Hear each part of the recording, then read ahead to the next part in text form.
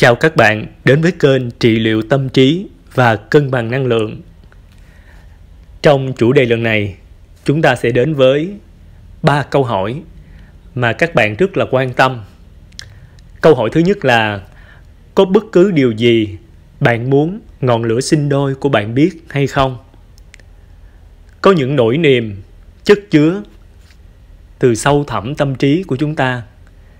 Chúng ta muốn được thấu hiểu thì những điều thấu hiểu mà của bạn muốn người khác hiểu bạn là gì? Câu thứ hai là chúng ta có thể mất một ngọn lửa sinh đôi mãi mãi hay không? Và câu thứ ba, ngọn lửa sinh đôi của bạn có thể yêu một người khác lãng mạn, người đó không phải là bạn. Và bây giờ chúng ta sẽ lần lượt chia sẻ từng câu hỏi một đối với câu hỏi thứ nhất, là cứ có bất cứ điều gì bạn muốn ngọn lửa sinh đôi của bạn biết đến bây giờ, hiện tại hay không? Thì thông qua một sự chia sẻ của một người gửi đến linh hồn song sinh của mình với rất nhiều tâm tư, tình cảm cảm xúc rất là rõ ràng, mạch lạc, thì qua đó chúng ta sẽ cùng nhau ghi nhận lại và lấy đó là những cái trải nghiệm cho chính bản thân mình các bạn lắng nghe nhé. Tôi không mong đợi bạn sẽ hoàn hảo. Tôi luôn chấp nhận bạn, cho dù bạn là ai. Nhưng một số điều về bạn đã trở thành sự bất an của riêng tôi trong cuộc hành trình này. Tôi tin rằng hành trình linh hồn song sinh là về hành trình tâm linh của chúng ta. Tôi nhận ra rằng những ham muốn thể xác rất quan trọng đối với bạn bạn khao khát những ham muốn thể xác, trong khi tôi thì không. Tôi không thèm nó từ bất cứ ai.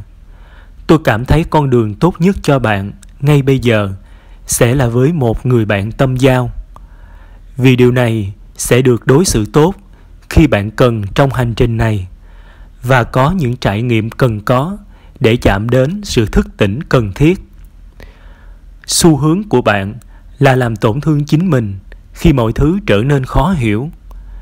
Thật sai lầm khi làm tổn thương cơ thể hoặc sức khỏe của bạn theo bất kỳ cách nào, vì điều đó sẽ chống lại tình yêu bản thân và linh hồn song sinh của bạn. Có thể cảm thấy nó một số nỗi đau khi bạn làm tổn thương chính mình, và do đó sẽ gây ra cảm giác không an toàn hoặc không sẵn sàng cho linh hồn song sinh của bạn, khiến họ chạy xa hơn yêu bản thân là tôn vinh cơ thể của bạn và chăm sóc tốt cho sức khỏe và hạnh phúc của bạn. Tất cả phụ thuộc vào cách chúng ta xác định sức khỏe của mình. Đối với tôi, hạnh phúc có nghĩa là đưa tôi ra khỏi bất cứ thứ gì cảm thấy lún sâu và cản trở mục tiêu của tôi. Tôi cần tìm hiểu những gì tôi có thể làm để đạt đến cấp độ tiếp theo trong sự nghiệp hoặc để đạt đến cấp độ tiếp theo về sức khỏe và thể lực của tôi. Bạn cũng có thể đặt ra một số mục tiêu cho sức khỏe tổng thể của mình. Tôi sẽ luôn cầu nguyện cho sự an toàn và hạnh phúc của bạn. Tôi biết tất cả chúng ta đều thất vọng khi mọi thứ không như mong đợi. Nhưng hãy loại bỏ sự thất vọng của bạn trên linh hồn song sinh. Để những điều tiêu cực xảy ra, mọi thứ sẽ trở nên tồi tệ hơn và gây ra sự bất an và đẩy người đó đi xa hơn. Sự bảo đảm về tài chính cũng rất quan trọng đối với sức khỏe của một người. Sẽ không khôn ngoan khi từ bỏ công việc của bạn để tập trung vào cuộc hành trình này.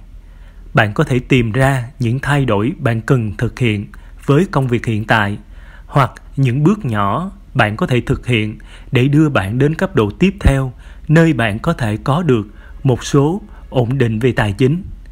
Điều này sẽ thêm vào sức khỏe tổng thể của bạn. Tôi tin rằng bạn đang đi trước tôi trong hành trình này, và tôi ngưỡng mộ điều đó về bạn. Tôi không nghĩ rằng tôi đã sẵn sàng. Nếu sự sẵn sàng đó được phân loại là hợp nhất dựa trên thể chất và tinh thần, tôi có rất nhiều việc phải tự làm, và tôi sẽ tiếp tục làm việc đó, dù tôi có ở trong hành trình này hay không. Là một linh hồn song sinh, tôi tin rằng bạn có thể làm cho linh hồn của bạn cháy sáng dù có hoặc không có linh hồn song sinh. Trên hết, hãy tin tưởng vào bản thân và tiếp tục hướng tới mục tiêu của mình. Khi kết thúc tất cả những điều này, cho dù chúng ta có kết thúc với nhau hay không, tôi tin rằng chúng ta chắc chắn sẽ trở nên mạnh mẽ hơn từ toàn bộ trải nghiệm và có khả năng làm cho ánh sáng nhỏ bé của chúng ta tỏa sáng hơn chúng ta có thể cảm nhận được một nguồn năng lượng rất tích cực từ cô gái khi đối diện với những cảm xúc từ nội tâm của mình để hướng đến những điều tốt đẹp hơn. Không chỉ giữ cho cô ấy một nguồn năng lượng tích cực, cô ấy còn có thể dùng điều đó để hỗ trợ, để giúp đỡ cái ngọn lửa song sinh của cô ấy để có thể thông suốt những suy nghĩ cần thiết để tiếp tục cuộc hành trình của anh ấy đó là một điều rất là tuyệt vời mà chúng ta có thể cảm nhận được qua sự chia sẻ vừa rồi. Và tiếp theo sẽ là một câu hỏi. Có thể mất một ngọn lửa sinh đôi mãi mãi hay không? Chúng ta không mất một ngọn lửa sinh đôi mãi mãi. Một cặp lửa đôi sẽ tái hợp. Nó có thể không ở trong một cuộc đời hay một thời gian sống cụ thể, nhưng cuối cùng ngọn lửa sinh đôi sẽ quay lại với nhau. Có lẽ không như chúng ta mong đợi, nhưng dù sao, chúng sẽ tái hợp. Đó là bản chất cần thiết của một linh hồn song sinh. Toàn bộ mục đích của ngọn lửa sinh đôi là để trải nghiệm cuộc sống và tình yêu trong sự phân chia tạm thời của linh hồn. Khi sự trải nghiệm hoàn tất và thời gian linh thiêng đã được xác định, cặp song sinh sẽ tái hợp và chúng ta hãy chú ý đến bản chất vĩnh cửu của linh hồn và hiểu rằng cuộc sống mà bạn đang đang sống là một thước đo cực kỳ nhỏ bé so với thời gian trong lịch sử vĩ đại của vũ trụ. Tình yêu không thể chết, vì tình yêu là bất tử. Có thể bạn sẽ không thấy ngọn lửa sinh đôi của mình tách ra một lần nữa trong cuộc sống này, nhưng ít nhất bạn sẽ tìm thấy chúng trên một mặt phẳng khác họ là sinh đôi của bạn.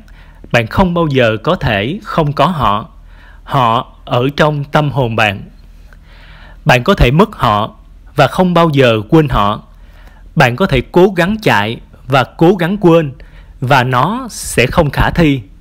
Một lúc nào đó trong tương lai, ngay cả khi bạn có thể đặt họ ở phía sau tâm trí của bạn, vũ trụ sẽ thiết kế và tạo ra một sự dẫn dắt nào đó mang hai bạn lại với nhau, hoặc mang lại ký ức. Đó là vai trò của chúng ta khi hai ngọn lửa sinh đôi cùng nhau xuất hiện trong thế giới này để vượt qua những trở ngại mà vũ trụ đặt trên con đường của chúng ta để có thể đoàn tụ, cải thiện bản thân và cùng nhau thức tỉnh. Bạn không thể mất ngọn lửa sinh đôi của mình mãi mãi, ngay cả khi bạn muốn, trong sâu thẳm bạn không muốn điều đó. Dù bạn có tin hay không, cuối cùng bạn cũng nhận ra mình nên làm gì cho kết nối đó và tự mình tìm ra cách xử lý. Và chúng ta sẽ bước đến một câu hỏi thứ ba. Đó chính là ngọn lửa sinh đôi của bạn có thể yêu một người khác lãng mạn. Người đó không phải là bạn. Hầu hết các ngọn lửa sinh đôi được đánh thức hành trình ngọn lửa sinh đôi sau khi trải qua một chặng đường khá dài trong cuộc đời. Họ có thể gặp ngọn lửa sinh đôi của mình khi còn nhỏ, nhưng sự công nhận ngọn lửa sinh đôi của họ có thể đến muộn hơn nhiều. Trong những trường hợp này, rõ ràng cả hai ngọn lửa sinh đôi sẽ có những mối quan hệ lãng mạn, những cuộc hôn nhân diễn ra trong cuộc sống của họ hành trình ngọn lửa đôi là sự học tập và các mối quan hệ linh hồn nhiều hơn là những khái niệm lãng mạn thông thường trần thế. Và để dạy điều này, chúng ta phải trải qua các cuộc hôn nhân và các mối quan hệ lãng mạn bình thường. Cụ thể đó là những mối quan hệ nghiệp quả. Mối quan hệ lãng mạn của linh hồn song sinh sẽ giúp cặp song sinh thức tỉnh và hiểu được tình yêu đích thực, thiêng liêng. Vì vậy ngọn lửa sinh đôi của bạn có thể yêu một người lãng mạn hoặc có thể kết hôn với người khác. Bạn không thể so sánh một mối quan hệ nghiệp quả và một mối quan hệ linh hồn song sinh. Nhưng đến một lúc nào đó, họ sẽ nhận ra bạn là ai và mối quan hệ tình cảm không thể phá vỡ giữa hai bạn.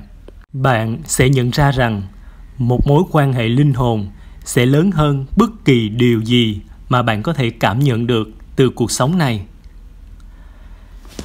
Qua những câu hỏi vừa rồi, thì chúng ta lại có thêm những cái thông tin cũng như những cái trải nghiệm cần thiết để từ đó có thể nhìn vào mối quan hệ hiện tại của chúng ta.